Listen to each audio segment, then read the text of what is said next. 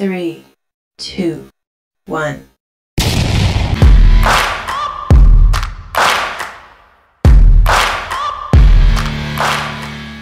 Good day po sa inyong lahat mga Kabags TV at kung bago ka pa lang po sa akin channel ay subscribe ka na and click the notification bell for more upcoming videos at ngayong araw po magre-review po tayo ng ating pangmalakasang tire walang iba kundi ang ating Corsa Cross Platinum Cross S. Dito po sa ating rear ay meron po tayong sukat dito na 90 by 90 na nilagay mga bags. At yan pong sukat na yan yan na po yung stock na sukat ng ating uh, tire na stock mga bags.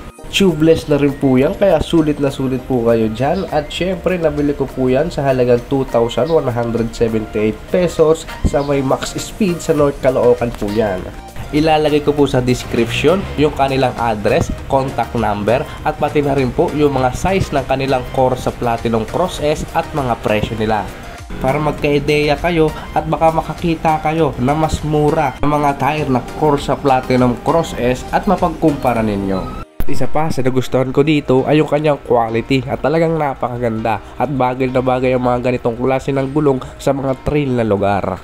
At ngayon naman po ay punta tayo sa may front tire at may sukat po ito na 80 by 90 at stock na size pa rin po yan na nilagay natin dyan at nagkakahalaga yan ng 1,805 pesos. At muli, kung bago ka pa lang po sa akin channel ay subscribe ka na and click the notification bell for more upcoming videos. Ang pagkakaiba nito sa mga street tire ay yung kanyang spike at kung mapapansin nyo po ay masyado po siya nakaumbok at masyado siyang makapal.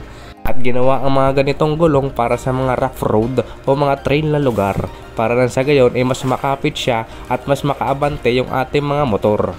Bagay na bagay ito dito sa ating lugar dito sa Pilipinas dahil maraming lugar dito sa atin na mga off-road nga kung tawagin o mga malulupa na hindi na halos naaabot ng ating mga kalsada kaya ito ang isa sa mga magagandang gamitin para lang sa gayon ay mapa off-road or on-road man ang ating motor ay talagang papalag at papalag tayo dyan. At sa mga rider natin dyan na mga Corsa Platinum Cross S user, eh pwede po kayo mag-comment below at i-share nyo po ang inyong mga na-experience sa inyong mga gulong mga bags. Pagdating naman sa on-road o sa mga kalsada ay talagang napakaganda rin itong gamitin itong ating Corsa Platinum Cross S at napakakapit din niya. At dahil nga sa kapal ng kanyang mga spike ay talagang tatagal at tatagal ito mga bags at masusulit ninyo yung paggamit nito at talagang aabutin kayo ng taon.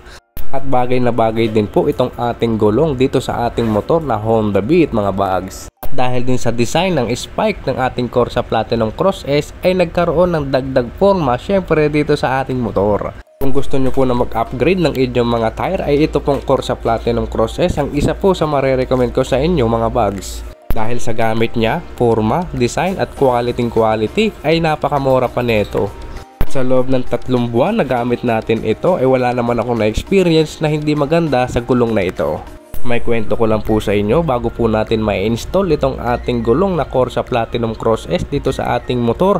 Ay gumamit din po tayo ng ibang gulong na tinatawag na Pirelli Angel. At ang masasabi ko po na pagkakaiba nilang dalawa yung ating pong Pirelli Angel ay napakakapit niya po pagdating sa mga on-road ah.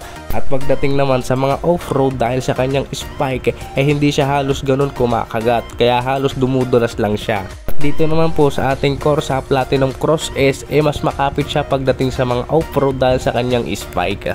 At ang ating pong dalawang pangmalakasang tire na yan ay may kanya-kanya pong characteristics. At syempre, yung Pirelli Angel ay maganda po siya sa mga on-road. At sa mga off-road naman ay maganda po dyan itong ating Corsa Platinum Cross S. Pagdating naman sa forma ay masasabi ko na napaka-forma din ng Pirelli Angel or Diablo at syempre itong ating Corsa Platinum Cross S ay napaka-forma din kaya tablado lang tayo dyan. At hindi lang po yan yung ating mga pwedeng pagpilian ng mga gulong at napakarami pa pong brand na magaganda at napaka-quality at mga mura. Napaka-importante na napangangalagaan natin at nasa magagandang kondisyon ang ating mga gulong dahil yan ang isa sa mga dahilan sa ating mga ligtas na biyahe at nakakarating tayo sa ating mga pinupuntahan na walang masamang nangyari. Tatlong taon na po sa atin itong ating motor na Honda Beat at ngayon ko pa lang po siya halos na upgrade at abangan nyo pa po mga bugs kung ano yung ating mga gagawin dito sa ating motor. At kung bago ka pa lang po sa akin channel ay subscribe ka na and click the notification bell for more upcoming videos. At ito po si Bugs TV. Hanggang sa muli, salamat po.